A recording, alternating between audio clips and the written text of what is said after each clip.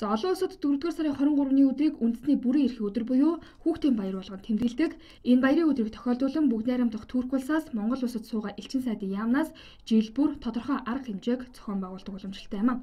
За энэ жилийн тухайд элчин сайдын яамнаас хамтдаа бид дэлхийг илүү сайхнаар өөрчилж чадна сэдвийн хүрээнд тодорхой арга хэмжээг зохион байгууллаа.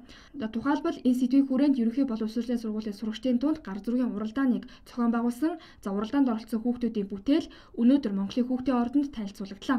Мөн энэ үеэр сургуулийн сурагчдын бэлтгэсэн урлагийн тоглолт зохион байгуулагдлаа. Бид олон улсын хүүхдийн арга хэмжээг дөрөвдөг жилдээ Монгол улсад зохион байгуулж байна.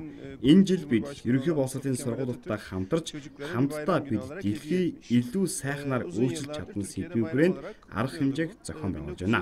Хүүхэд багчуудад юу хэрэгтэй? Тэд дэлхийн ертөнцийг юу гэж харж байгааг тэдний ертөнцөөс бид мэдэх боломжтой. Хүүхэд багчууд бол бидний ирээдүйн хойч юм а. За маргааш элчин сайд зохион бичлэг гар зургийн уралдаанд байр эзэлсэн сурагчдад шагнал гардуулна. Мөн элчин сайдын өргөөнд хүүхдийн баярын хаалтыг хүлээн авалт зохион байгуулагдах юм а.